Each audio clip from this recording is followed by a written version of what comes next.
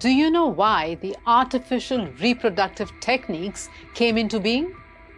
It was to offer a chance at parenthood to couples who may not have been able to conceive a biologically related child otherwise. Let's have a look at it.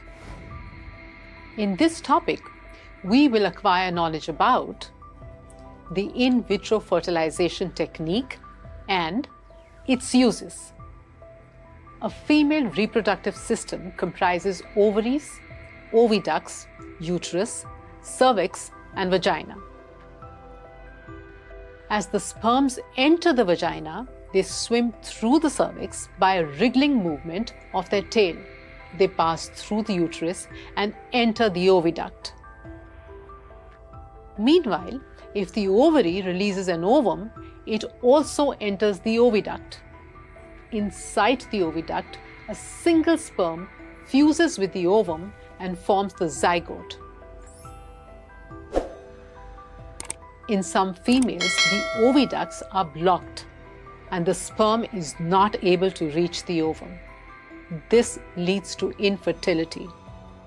In this case, a highly sophisticated technique called the in vitro fertilization or IVF is used to assist the infertile couple. Let us study the method of IVF. This technique begins with a fertility drug containing follicle stimulating hormone, FSH, that is injected in a female. The FSH stimulates the ovary to produce ova. Now, an ultrasound device is used to locate the ovary. Through an ultrasound guided needle, the ova are aspirated from the ovary. The subsequent steps are performed in a completely sterile environment. The harvested ova are placed in a test tube and the seminal fluid collected from a male is mixed with them. The growth medium containing salts, glucose, and a chemical called pyruvate is added. This test tube is now placed in an incubator to provide the optimum temperature required for fertilization. A zoomed in view inside the test tube shows the ovum surrounded by sperms. A single sperm fertilizes the ovum and forms the zygote. Since the fertilization occurs in a test tube, IVF is also known as the test tube baby technique. The test tube mixture is then taken on a glass slide to examine under a microscope.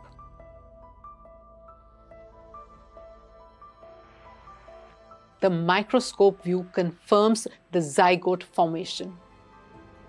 Final step is the embryo transplantation inside the uterus. Later on, the embryo develops, which ultimately results in pregnancy. The success rate of IVF is about 12 to 40%. To summarize, in this first step, the female is injected with a drug containing FSH, which stimulates the production of ova.